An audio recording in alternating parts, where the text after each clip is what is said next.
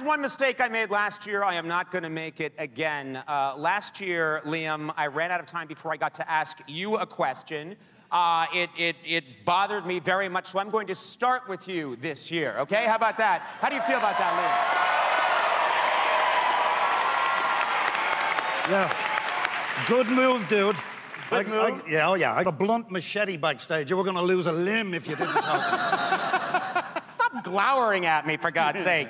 All right, I got to ask you, Liam. You have lasted five seasons. What is the secret to not getting killed on Game of Thrones? What is it? All right, let me tell you, those two boys down the end there have got a sick sense of humor. Yeah.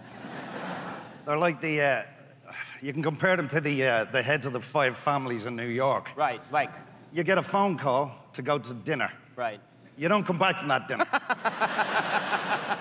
so the trick is, don't make eye contact, don't pick up the phone. Don't pick up the phone, don't make eye contact, don't talk to them. Very, very wise. How would you like to see Davos go? When he goes, how would you like to see him go? Well, I've made a couple of suggestions. I think he should go to Dorne. He should drink some, uh, some vintage Dornish wine in the company of um, a couple of hookers and an eight ball.